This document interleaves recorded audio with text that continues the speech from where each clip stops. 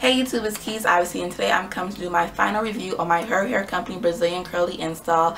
As you can see the update or the setup is a lot different because this update is going to be extremely fast because my update or my final thoughts on this hair is like my last update on this hair. So I didn't feel like the need to make this um, video too long because it's pretty much going to be the same thoughts as my last video on this hair. So as you guys know I am wearing HerHair Company Brazilian Curly Hair. I have in four bundles. I have in 16, 18, 20, and 22 inches.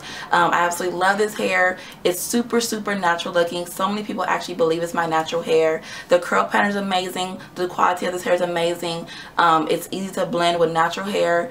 Um, like I said, it's very, very realistic in regards to shedding and tangling. I did have issues in the beginning with shedding and tangling, but I will say that those issues have definitely subsided since the weather has changed.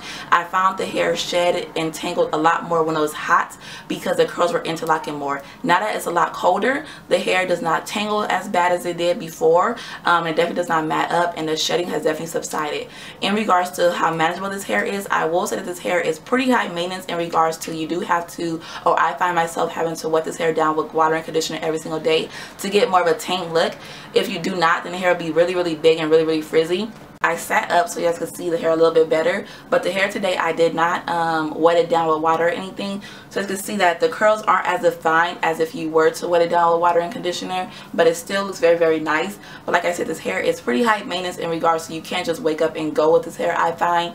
Um, because there is a little bit of something you do need to do to to make it look a lot more presentable.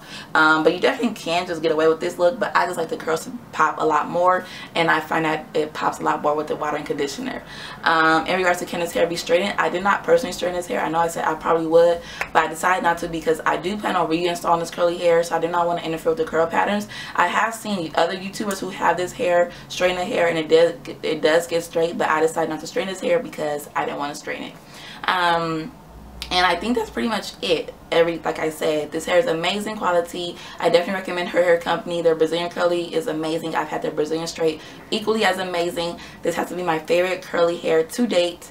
And um, it's actually very very affordable. Like I said having four bundles you do not need four bundles. You definitely could get away with three bundles.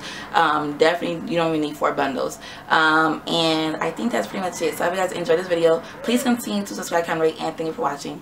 Bye guys